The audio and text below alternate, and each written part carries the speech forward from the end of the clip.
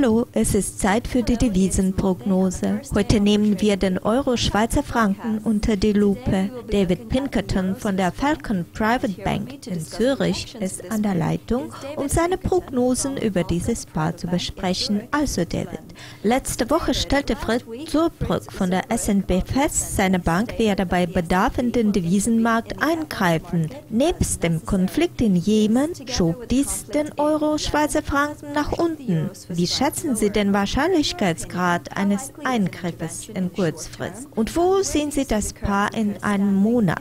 Klar ist der Schweizer Franken gegenüber dem Euro auf dem Hintergrund des Jemen- und Brexit-Befürchtungen angestiegen. Wir sind aber der Meinung, dass der Schweizer Franken ein neues Gleichgewicht gegenüber dem Euro im Bereich von 0,2 95 plus minus 2 Prozent erreicht hat. Man wird versuchen, die Währung in diesem Rahmen zu halten. Natürlich hat der Schweizer Franken wegen des Kreditsitz und ähnliches eine aufsteigende Dynamik und Eingriffe sind nicht auszuschließen.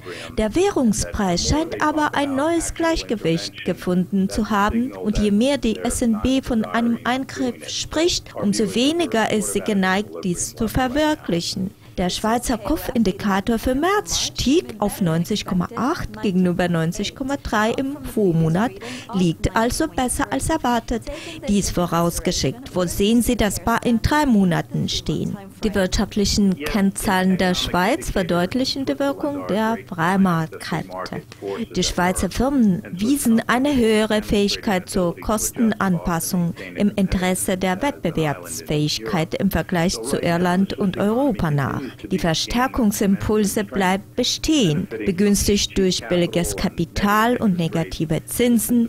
Dies wirkt sich zum Vorteil des Immobilienmarktes und der Infrastruktur aus, die die rückläufigen Exporte ausgleichen.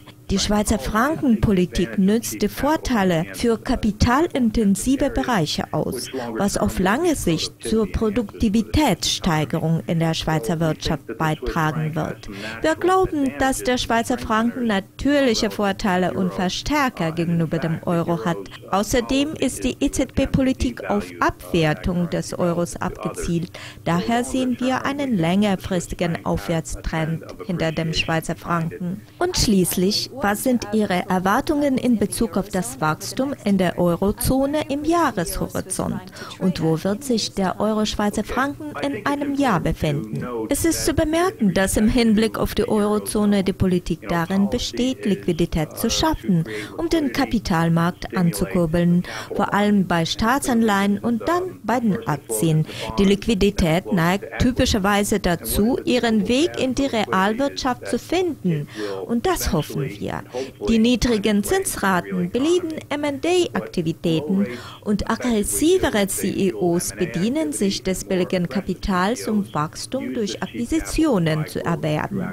Wir müssen nicht unbedingt erwarten, dass die europäische Wirtschaft ein sofortiges, robustes und nachhaltiges Wachstum aufzeigt.